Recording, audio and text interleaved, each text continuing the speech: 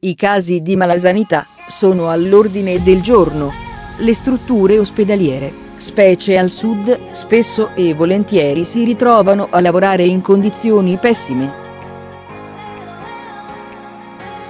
Nei mesi scorsi, ad esempio, a Napoli, in Campania, sono state diverse le denunce di pazienti lasciati nei corridoi, poiché privi di posto letto.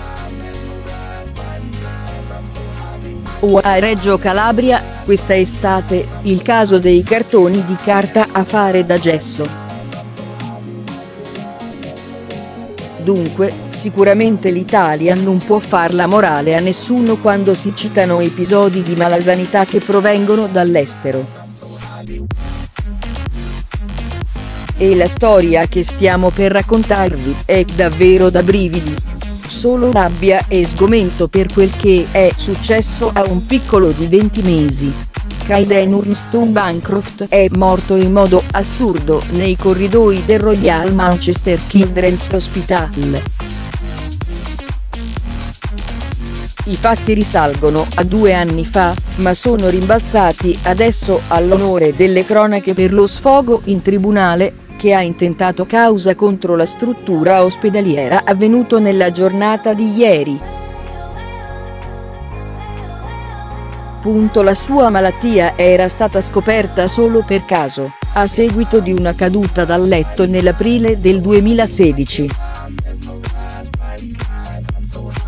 Portato all'ospedale di Stepping Hill, si era scoperto che parte del suo intestino fuoriusciva attraverso il foro del suo diaframma. L'inizio di un dramma senza fine per la famiglia inglese, trasferito presso la struttura ospedaliera di Manchester per un intervento chirurgico urgente. Il piccolo è morto dopo essere andato in arresto cardiaco. Il tutto dopo tre giorni d'attesa.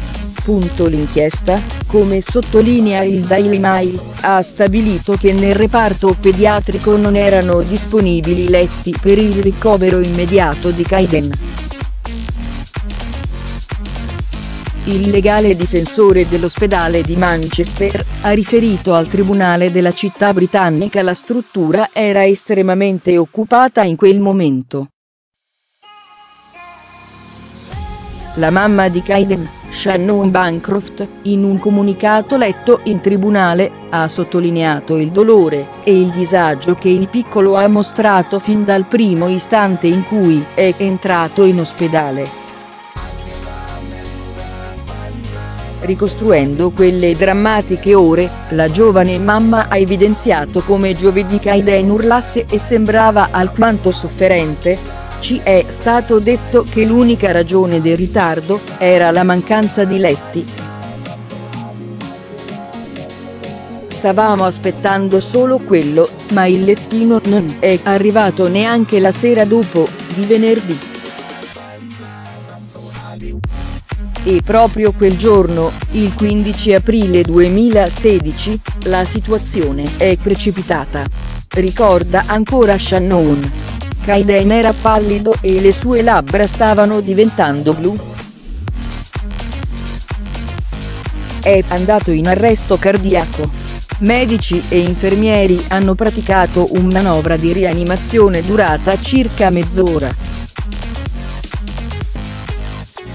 L'ultimo ricordo della mamma è il suo piccolo in lotta tra la vita e la morte.